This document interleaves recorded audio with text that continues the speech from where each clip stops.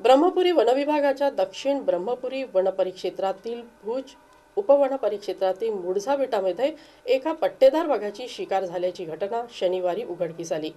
वाघाच्या मृतदेहाचे पंजे आणि शिर गायब असल्याने शिकार झाल्याचे निष्पन्न झाले. वनविभागाने लगेच तपासाची चक्रे फिरवून मुडझा गावातीलच दोघांना चौकशीसाठी ताब्यात घेतले. त्यांच्याकडून पंजे आणि शिर हस्तगत करण्यात आल्याची माहिती आहे.